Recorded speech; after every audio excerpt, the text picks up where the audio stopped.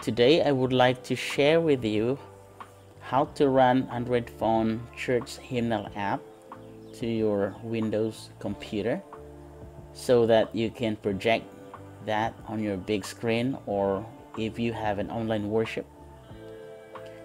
You know, as a worship leader, um, I understand the problem. Sometimes we get distracted of the ads and oftentimes we need to wait for the ads to stop. If we play the music directly from YouTube. So it may not be a very good idea to play um, songs directly from YouTube because of those distractions I mentioned. So I would like to introduce to you a solution to this problem.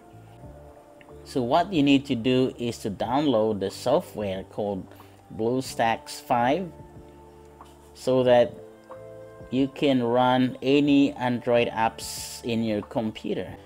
So I added a link in the description below so you can check that out. I already installed the software so I don't need to repeat the process. You know, it's pretty easy. So once you have this software in your system, you can then download the hymnals in your system. Okay, so if if you don't have these apps yet in my case I already have SDA hymnal. So if you don't have it yet you can just go to the Play Store and get one.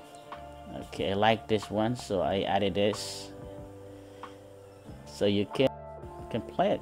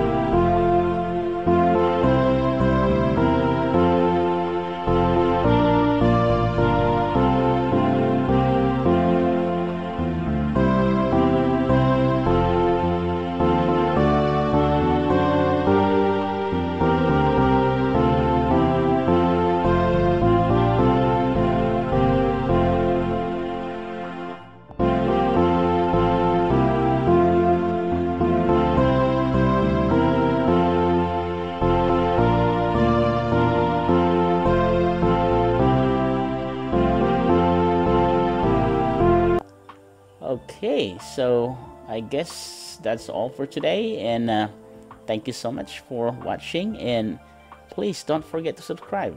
Thank you so much. God bless you